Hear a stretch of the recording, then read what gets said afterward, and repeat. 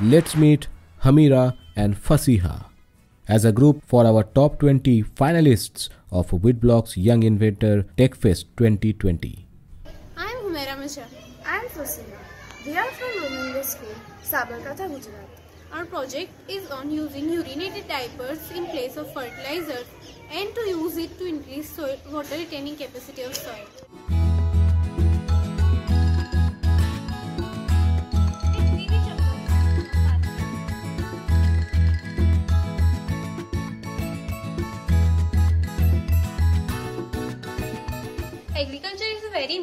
Part of our economy.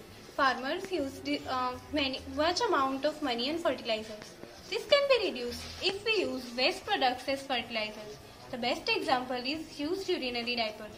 The diaper market in India reached the volume of 5.1 billion in 2019 and it is estimated that it will reach the volume of 6.19 USD dollar during 2020 to 2024. Due to the modernization, the usage of diaper has increased very much. On average, a child uses 5.6 diapers per day, and out of it, 3.6 diapers are urinary diapers. Excessive use of chemical fertilizers has led to the destruction of soil quality. It leads to a soil barren. To overcome this, organic farming is on an increase. Urea is an important part of organic farming. Can we use urea? Yes. We instead we can use urinary diapers as a replacement for the chemical fertilizers which are very harmful for the soil. Now, these are the components of diaper. These are the non-biodegradable and these are usable. This is cotton and this is cellulose. Cellulose is very important. It helps in soil fertility. Now, the second important component of diapers is SPA, that is sodium polyacrylate. It has a very high water absorbent quality and it retains water very nicely. Now let's see. As you can see, it absorbs water really quick. So this helps in retaining the water. As it is said, it can absorb 300 times of its own weight if the water is distilled and it can absorb 50 times of its own weight if the water is a little saline.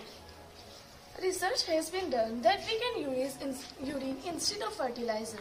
So, we can use urinated diapers for urine. Urine helps us in our nitrogen cycle and it increases the soil fertility. There are mainly two uses of these urinary diapers. The first one is making compost. Now here we have prepared a compost in which we have used domestic and yard waste like leaves and uh, peels etc. This is the compost we have prepared which is ready to use in plants as a fertilizer. Secondly, we are putting the pieces of diaper in it. Now, if we can experiment, we are adding some same amount of water in both of the beakers. Let's see which absorbs uh, faster.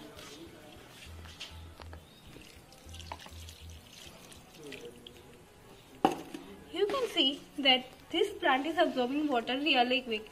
In this, the water is clogged. So, we can use this method in plants which need more water and more nitrogen. We can also use this concept in desert cultivation. We have dedicated this project to Swachh Bharat Abhiyan. Thank, Thank you. you. So, uh, Humera and Fasiha, uh, good style of presentation. Uh, what inspired you to uh, take this project up? Uh, we have seen in our community that there are lots of diaper waste every day. Uh, lots of diapers are wasted. So we pondered about it and came to a conclusion to use diapers as a fertilizer, urinated diapers especially. The um, uh, okay, very nice, but would it not be difficult to separate the diapers into urinary and non-urinary? I mean, the collection, etc., would be a a difficult task, no? Yes, sir. No, we can um we can put two different buckets, or just a one bucket with uh, with only urinary diapers in there. Okay, sure. That's all. So you would have to partner with uh, government organizations uh, uh, who are collecting waste and ask them to do it for you, yeah? Yes. We can do. We are now uh, doing it on small scale. So just in one area. Okay, okay. Thank you. It was a very good presentation. Could you tell me about how you two work together? Did you work well together? Did you challenge each other? Did you learn from each other? What did how did it work when you were both working together on this project?